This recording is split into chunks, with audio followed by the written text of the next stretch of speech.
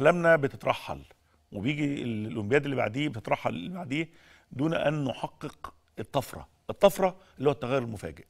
بقول تاني لما يكون ليه لماذا لا يكون لدينا ميداليات في ألعاب القوة؟ وأنا مندهش جدا وما أعرفش السبب الحقيقة. أنا ما أعرفش السبب. ليه ما يكونش عندي ميدالية في الألعاب الجماعية؟ أنا يعني كل تركيزنا الأولمبي على فريق كرة القدم وأعتقد إن ده غلط. تركيزنا لابد إن هو يتوزع على كل الألعاب على وخاصة الألعاب الفردية والالعاب القوة والألعاب الأخرى المهارية ونبدأ ندرب ونبدأ نحط خطة حقيقية ليكون عندي فعلا صناعة النجم الأولمبي. النجم الأولمبي ده مش حاجة بسيطة مش حاجة سهلة. ده صناعة والصناعة محتاجة مهارة ومحتاجة علم. مش محتاجة لا أغاني ولا أناشيد ولا تشجيع. إحنا محتاجة علم حقيقي في صناعة النجوم الأولمبيين.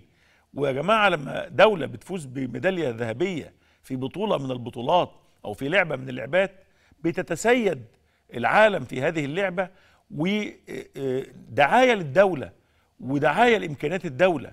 كونك تستطيع إنك تنجح في صناعة نجم أولمبي معناها إن أنت قادر على صناعة منتج معين. خليني أقول لحضرتك ده سمعة للبلد. أنا مش عايز أنظر فيما لا أفهم. لكن أعتقد أنني أفهم إنه صناعة النجوم محتاجة تخطيط وعلم.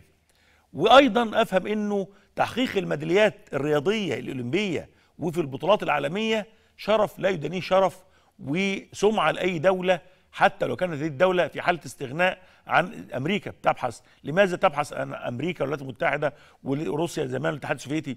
ليه؟ لأنه فكرة إنك تحوز أو تحصل على ميدالية أولمبية ده شرف فعلا شرف.